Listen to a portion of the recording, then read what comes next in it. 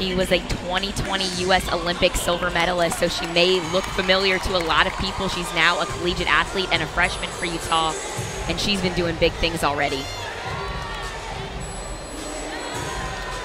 Shaposh up to the high bar, Pak Salto down to the low. Little short on that handstand. Setting up for the dismount here.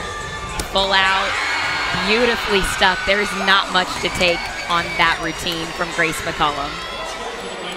She has won 10 career bars titles. She got a 9975 last week versus Minnesota on this event. So she's capable of getting that 10.0.